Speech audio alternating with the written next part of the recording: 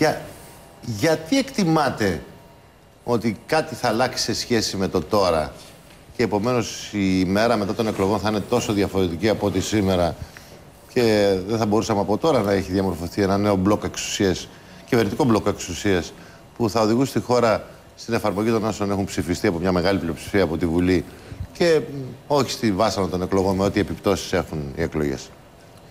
Ε, είναι το λέω και σε σχέση με τις απαντήσεις που έδωσε ο Πρωθυπουργός και στον κύριο Μαϊμαράκη και στον κύριο Λαφαζάνη χτες. Ναι. Είναι προφανές ότι η σημερινή πραγματικότητα ε, στην οποία έχουμε αναγκαστεί να μπούμε και ενώ τον εκβιασμό της συμφωνίας του Ιουλίου έχει διαμορφώσει μια εντελώς νέα κατάσταση.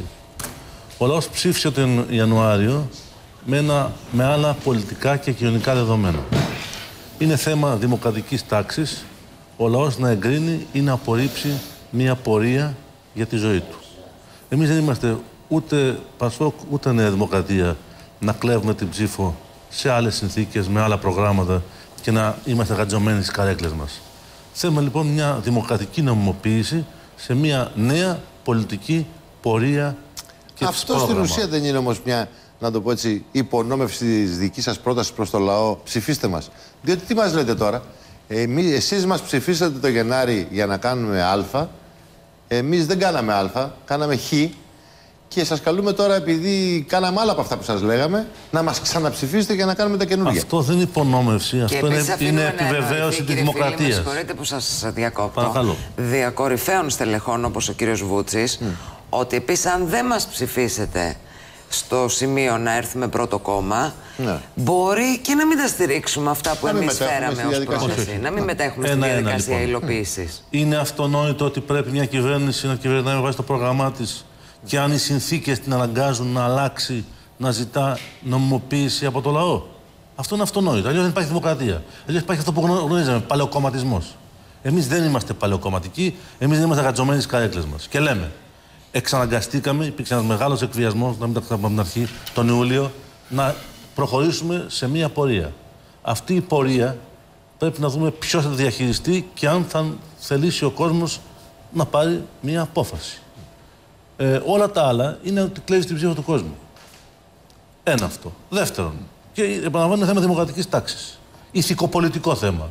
Παίζει ρόλο η ηθική στην πολιτική. Πρώτιστο. Προφανώς και παίζει. Βεβαίως. Δεύτερον θέμα. Θα σου πει ο ψηφοφόρος, ωραία θέμα. παιδιά, αφού λοιπόν εσείς αλλάξατε και υπάρχει ένα κομμάτι που δεν άλλαξε, θα ψηφίσω το άλλο κομμάτι που δεν άλλαξε. Θα σας απαντήσω. Mm. Ο ψηφοφόρος θα κρίνει εάν αυτή η αλλαγή ήταν αλλαγή επιβεβλημένη, εξαναγκαστική. Αν δηλαδή ήταν μια αλλαγή η οποία προήλθε από έναν μείζονο εκβιασμό, όπου το άλλο σκέλος του εκβιασμού θα ήταν η καταστροφή της χώρας, αυτό θα το κρίνει ο ψηφοφόρος. Θα κρίνει ο ψηφοφόρος εάν λέγαμε όχι εκείνη τη στιγμή ε, στον εκβιασμό που ασκήθηκε, τι είχαμε, να δω, τι είχαμε μπροστά μας, την άτρακτη χρεοκοπία, τις τράπεζες που θα κλείναν, τα χρήματα που θα χανόντουσαν μέσα στις τράπεζες, ενώ τα, τα, τα, χρήματα στο εξωτερικό θα διασφαλιζόντουσαν. Αυτό που έχει και ο Πρωθυπουργός, δηλαδή ότι είναι ένα ψευτοδήλημα επί της ουσίας. Άρα λοιπόν ήταν, ήταν ένα δίλημα πραγματικό τότε, και δεν ήταν ψεύτικο δίλημα, πραγματικό δίλημα mm. η άτακτη χρεοκοπία ή ο επώδυνος συμβασμός.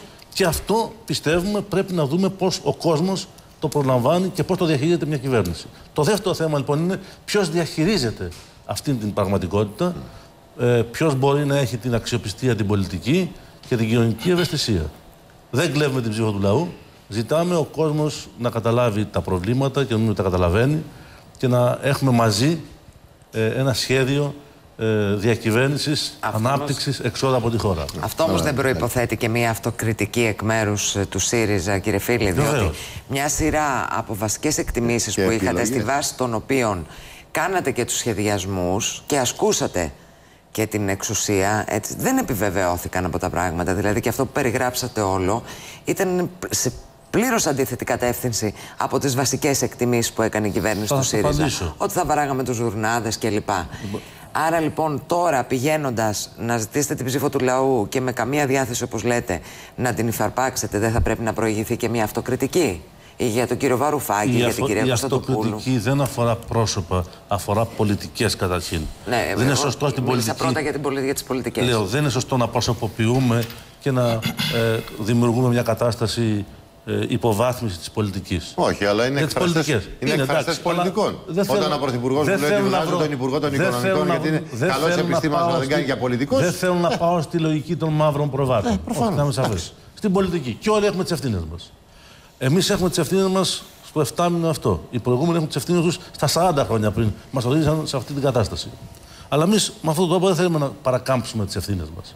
Η πρώτη στη ευθύνη μας ήταν ότι δεν διαγνώσαμε έγκαιρα ότι οι εταίροι, ο σκληρός πίνας των εταίρων, ο Σόιμπλε, δεν ήταν σε μια κατεύθυνση συμφωνίας, ήταν σε μια κατεύθυνση τιμωρίας της χώρας και του λαού μας.